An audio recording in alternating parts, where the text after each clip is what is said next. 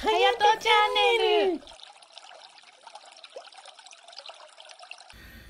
これね似てるようでわからない人もいるかもしれないので今日釣ったねこの4種類解説していきたいと思いますけどもまずこれ。これ一番わかりやすい。アジですね。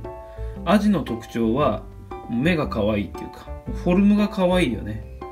でちょっとねあの東京湾のやつは金アジって言われてるので金色がかってたりします。それからこの税後と呼ばれるこのギザギザのところ。これねこれがあるのがアジの特徴です。それからこの下。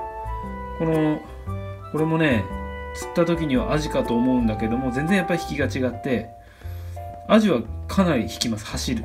でサッパーも結構暴れるんでお来たって感じでこれぐらいの大きさだとね十分あの釣ってても楽しいですけどもサッパね。これあのサッパのね名前の由来っていろいろあって、まあ、諸説あるんですけども、えーまず一つはねあのさっぱりしてる。もうほんと油ない。さばいてても油がないんで手が全然ベトベトしないんですけどそれともう一個が、まあ、竹の笹の葉ですね。まあこれは平べったいんで、まあ、サッパって言われてますけども、まあ、ママカリって言われてあの昔はあのこれママママってご飯ですけどもご飯を借りてくるぐらい美味しいと呼ばれている魚です。でこのサッパはもう鱗がやっぱりあのすごい鱗鱗しい感じしているのと、えー薄っぺらいっていう感じですね特徴は。それからこの右上のこいつマイワシ東京湾でもねあんまり釣れるところ少ないんですけどこのマイワシの特徴はこのね黒いねわかるかな？黒いこうポツポツとした斑点。この斑点があるのがマイワシの特徴でまあ明らかに明らかにこういうウルメイワシとかよりは大きい。でブヨブヨしてます。ブヨブヨブヨブヨしてるんでサッパはもうね硬い。もうぺったんこで硬い。カチカチ。ブヨブヨしてるんでこれはよくわかると思います。イワシって弱いって魚に弱いって書く通り弱しなんですごくねすぐあの傷んじゃいます。弱くてブヨブヨしてるんで。それからこの可愛いやつこれウルメイワシになります。この目がねうるうるしてるんでウルメイワシ似たようなのにカタクチイワシがあるんですけどそれまた別の動画でもあの見せてるんでそっち見てほしいんですけども。これはウルメイワシ今日はこの4種類が釣れました。で一番レアキャラはやっぱりアジ。これはあの底の方にいます。なかなか表層の方まで出てこないんですけども底の方でさびきしてると釣れます、まあ、今日はあの150から200匹釣ってますけど釣れたのはこの1匹だけ、まあ、それぐらいえなかなか釣れないですね堤防からは。いるところにはいるんだけども東京湾だとなかなかバンバンアジが釣れるっていうところは珍しいと思います。でその次に多かったのが、えーこれかな。マイワシ。これもレアで、まあ、6匹しか釣れなかったです。200匹200匹中6匹ぐらい。でその次がこのサッパ。こいつ50匹。このサイズが50匹で。一時ねあの若洲とかケミ川とかもう全然サッパいなくなったけども豊洲にねこんな大きい型のサッパがまた復活しているということです。それから最後このウルメイワシはこれもめちゃくちゃ釣れてもこれだけで100匹。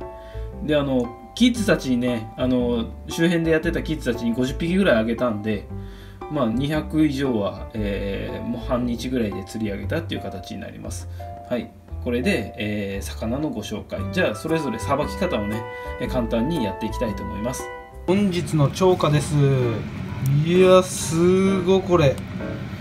アジサッパ。サッパもねかなり大きいしあとねこれマイワシ。マイワシもね大きい。もうこれ何匹いるのかわかんない。もう子供たちにもたくさんあげたからもう救いきれないぐらい、なんじゃこれってぐらい取れました。でこいつらは今日フライとかね天ぷらとかお刺身とかいろいろしていきたいと思います。とりあえずサッパサッパがね50匹いました。50匹。はいさばいたサッパ50匹。はい。マイワシは6匹。はい。さばいた。はい。はい、ウルメイワシ、多分カタクチイワシも混ざり、今から手開きにしていく。はい。ウルメイワシ95匹手開きにした。はい。手開きしました。はい。でサッパはまずね鱗を落とします。もうさっとやってしまいますけど。鱗を落とす。これね青く光ってくんだよね。ほら。鱗を落とすとねすごくね青く光ってくる。したら頭を落としてそれから肛門のとこぐらいまでねバスッと落としてますこんな感じで。で内臓を取ったら、えー完成。この形を作っていきます。続いてもうどんどんいっちゃいますけどもマイワシ。マイワシもねマイワシもね同じで、えーこんな感じでねまたまず鱗を取ります。ず鱗を取ります。もうノンカットでいきます。鱗を取る頭を落とす。それからこいつも腹を落としてあげると。こんな感じ。はいこういう感じになりました。でお刺身とかねフライとかでも十分対応できるんで、まあ、ここからは3枚におろしたりいろいろしていけばいいと思います。この形を作っていきます。それからそれからアジですね。えー、アジはもうこいつもね鱗を落としていきます。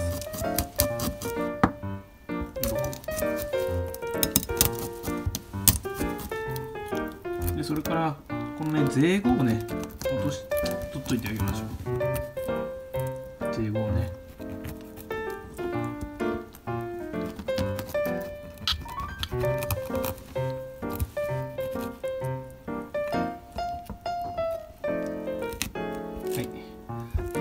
頭を落とします。このヒレの脇から包丁で頭を落とすと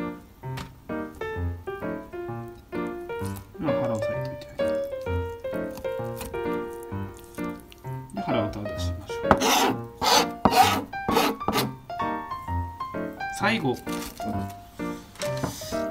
最後このウルメイワシについてはもう手開きで頭を落として腹渡をギュッともう取ってあげる。こんな感じ。ちょっと取れすぎましたけど。まあこんな感じでえ手開きにしていきます。はい以上です。さばきました。さばいた。ういマイワシウルメイワシそれから、えー、サッパとアズイはいさばいた。揚げていきます。サッパはね跳ねるからねよく水分を水気を切りましょう。唐揚げにします。おいしそうこのイワシとアジについてはお寿司にしていきます。マイワシとアジ。じゃーん。100均のやつでお寿司をしました。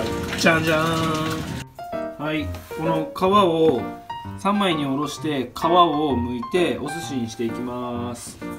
これがアジです。これがこの左上がアジでこれが、えーイワシマイワシで下の方がサッパです。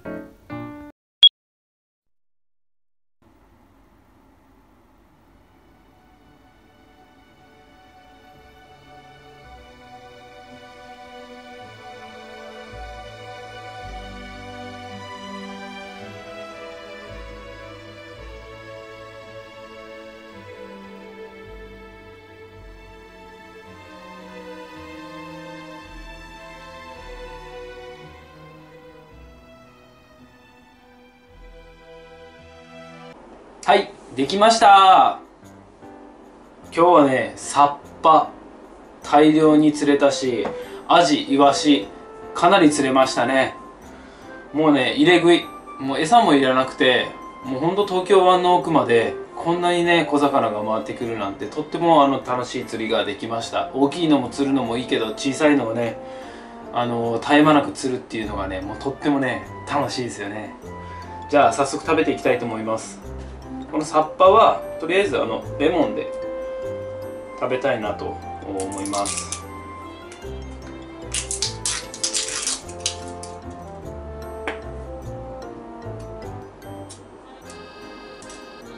これかけてね。うわ美味しそう。いただきます。うん。カップは唐揚げにして正解。まあいつもの定番ですけど。うん。本当にねおやつ感覚で食べれるんですごい美味しいです。うん。もう改めて言うまでもない感じで。うん。アジとかねイワシほどそんなに味があるっていう魚じゃなくてとっても淡白なんですけどもこういう唐揚げとかにはとってもよく合うので処理はね大変ですけど、まあ、こんな感じで今日唐揚げにしています。うん。喉が渇く。美味しい。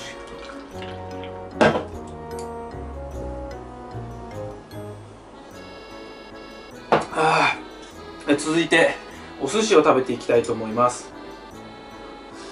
マイワシね、あのー、結構足元で見えてるんだけどもなかなかねあの釣るの難しい。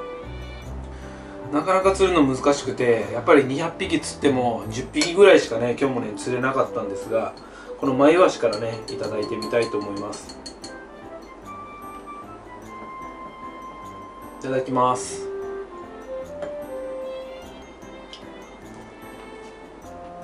うん。うん。うん。口に入れた瞬間にもうイワシ特有の味がもうふわっと広がってきてうん生姜と大葉がとってもよくね。そのイワシの悪い部分っていうのかな。臭みの部分をかき消してくれて本当にイワシの本来の美味しい部分をね引き立ててくれますんでこの生姜と大葉一緒にお寿司で食べるとねおすすめです。まあ、それから今日もう一個ねお寿司食べてみようと思うんだけどもサッパこのサッパがね本当に一番大きいやつをお寿司で2個乗せしてるんでこれをね食べたいと思います。サッパあの釣れた時に持ち帰らない釣り人の方いらっしゃいますけど結構ねこうやって美味しいし東京湾奥の今釣れるサッパめちゃくちゃでかいです。うん？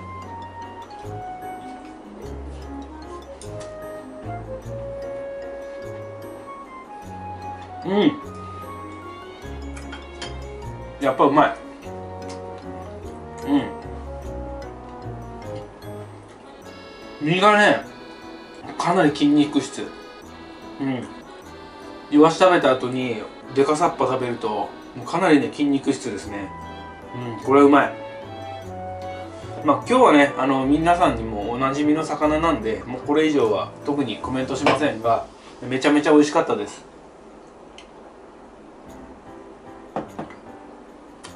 で本当にねあの綺麗な釣り場だったんであのゴミは持ち帰ってねあの綺麗に維持して、えー、東京のど真ん中でねこんなたくさん釣りが、えー、できるので、えー、綺麗にえー、キープしていってね、あの、末長く楽しめるような釣り場に、えー、していって、えー、行きたいなと思いますよね。